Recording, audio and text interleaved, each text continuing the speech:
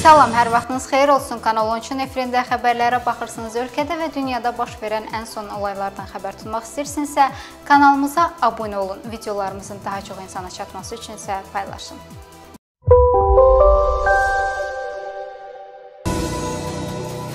Bugün Azərbaycan Respublikasının Energetika Nazirliyi və BP Zəngilan Cəbrayıl zonasında 240 meqavat gücündə günəş elektrik stansiyasının tikintisi layihəsinin qiymətləndirilməsi və həyata keçirilməsi fəaliyyəti üzrə əməkdaşlığa dair icra müqaviləsi imzalayıblar. Nazirlikdən verilən məlumata görə bu sənəd işğaldan azad olunmuş ərazilərdə yaşıl enerji zonasının yaradılması, Azərbaycanın bərpa olunan enerji sektorunun inkişafı ilə bağlı strateji qərarı və 2010 2030-cu ilədək karbon qazı emissiyalarını 35%-ədək azaltmaq öhdəliyinin, BP-nin isə 2050-ci ilədək xalis sıfır emissiyalı şirkətə çevirmək strategiyasının icraçı çərçivəsində imzalanıb. Energetika naziri Pərviz Şahbazov deyib: "Stat Azərbaycan prezidenti İlham Əliyevin müəyyən etdiyi müasir inkişaf kursunda Qarabağın yaşıl enerji zonasına çevrilməsi mühüm yer tutur. Bu vəzifənin Azərbaycanın yeni sosial-iqtisadi inkişaf strategiyasının prioritetləri ilə vəhdətdə həyata keçirilməsi bərpa olunan enerji sahəsinə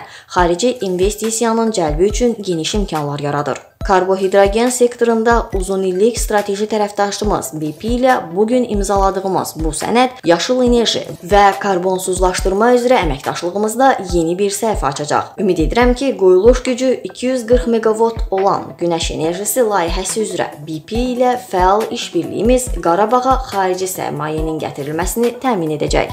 Statın sonu Qaçqınların və məcburi köçkünlərin işləri üzrə Dövlət Komitəsinin təşəbbüsü və təşkilatçılığı Azərbaycan Qızıl Ay Para Cəmiyyətinin Beynəlxalq Qızıl Xaç Komitəsinin dəstəyi ilə keçirilən mina təhlükəsizliyinə dair maarifləndirmə təlimlərinə yekun vurulub. Son təlim iyulun 3-də Füzuli rayonunda keçirilib. Yüksək ixtisaslı mütəxəssislər təlim iştirakçılarına risklər və təhlükəsiz davranış haqqında ətraflı məlumat verib. Minalar və partlamamış hərbi sursatlardan qorunmaq üçün zəruri olan addımları izah izah edib. Səfərlər zamanı təhlükə əlamətlərinə və işarələrinə diqqət etmək, müharibənin partlayıcı qalıqları ilə rastlaşdıqda davranışın təhlükəsizlik üçün əhəmiyyəti vurğulanıb. Ağdam, Tərtər və Füzuli rayonlarında keçirilən təlimlərdə ümumilikdə 60 nəfər iştirak edib. Təlimə əsasən əhali ilə daha çox təmasda olan təhlükəsizliyə dair məlumatları digər şəxslərlə bölüşə bilən şəxslər, müəllim, şagird və icra nümayəndələri cəlb edilib.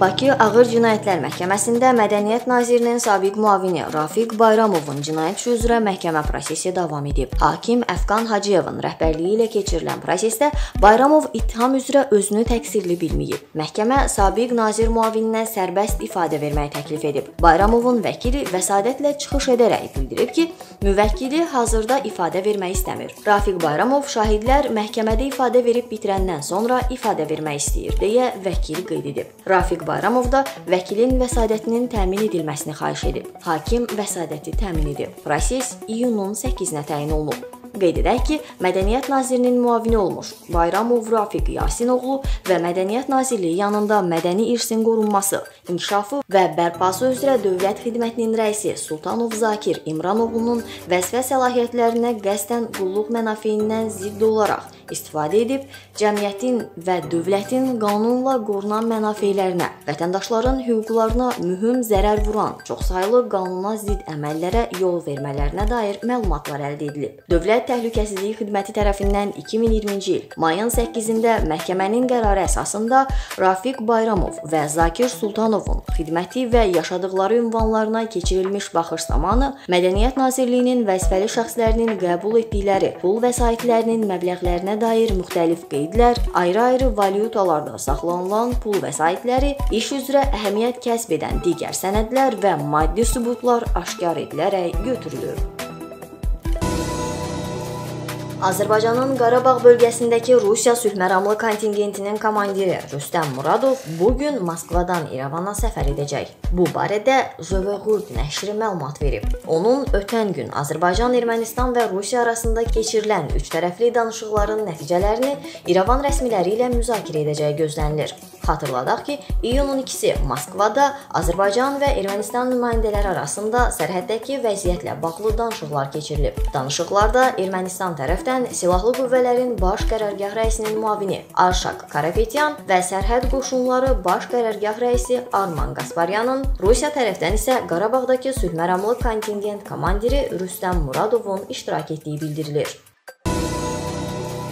Gədəbəyin İvanovka kənd sakini 1934-cü il təvəllüdlü Səkinə Həsənovanın tövlədə bağlanılaraq saxlanılması barədə sosial şəbəkələrdə görüntülər yayıldıqdan sonra Gədəbəy rayon polis şöbəsinin əməkdaşları dərhal həmin kəndə gedərək qadını kənd ərazisində gəzərkən aşkarlayıb. Onun əqli və fiziki sağlamlığının yerində olmamasını müəyyən etdikdən sonra aidiyyatı qurumlara məlumat verilib və qadın Göygöl rayon 3 saylı psixonevroloji sosial xidmət müəssisəsinə yerləşdirilib. Daha sonra qadının tövlədə bağlanılması və zaman-zaman döyülməsi ilə bağlı rayon polis şöbəsində cinayət işi başlanılaraq istintaq əməliyyat tədbirləri həyata keçirilib. Keçirilən tədbirlər nəticəsində Səkinə Həsənovanı tövləyə bağlamaqda şübhəli bilinən qohumu 1947-ci il təvəllüdlü Qəzənfər Hacıyev barəsində Cinayət Məcəlləsinin 145 qanunsuz azadlıqdan məhrum etmə maddəsi ilə cinayət işi başlanılaraq rayon prokurorluğuna göndərilib. Faktla bağlı Gədəbəy rayon prokurorluğunda haqqında araşdırmalar davam etdirilir. Beynəlxalq Əmək Təşkilatının yeni hesabatına əsasən COVID-19 pandemiyası qlobal əmək bazarının artımını 5 il geriyə salıb. Dünyada ümumi məşğulluğun pandemiyadan əvvəlki səviyyəyədək bərpası 2023-cü ildən tez baş verməyəcək. Proqnozlara əsasən bu il təxminən 220 milyona yaxın insan işsiz qalacaq. 2022-ci ildə isə bu göstərici cüzi yaxşılaşaraq 205 milyona enəcək. Hesablamalara görə pandemiya baş verməyəcəyi təqdirdə dünyada daha 30 milyon yeni iş yeri yaradıla bilərdi. Hesabatda qeyd edilir ki, artan işsizlik əmək bazarında qadın və kişi bərabərsizliyinin və yoxsulluğun daha da dərinləşməsinə səbəb olub. Nəticədə 2019-cu ildən bəri daha 109 milyon insan yox yoxsulluq həddinə çatıb. Türkiyə Respublikası Ali Məhkəməsinin baş prokuroru Bekir Şahin və rəhbərlik etdiyi nümayəndə heyətinin ölkəmizdə rəsmi səfəri başa çatıb. Bu barədə baş prokurorluğun məlumatında deyilir. Nümayəndə heyəti baş prokuror Kamran Əliyevin iştirakı ilə Heydər Əliyev adına beynəlxalq hava limanından yola salınıb.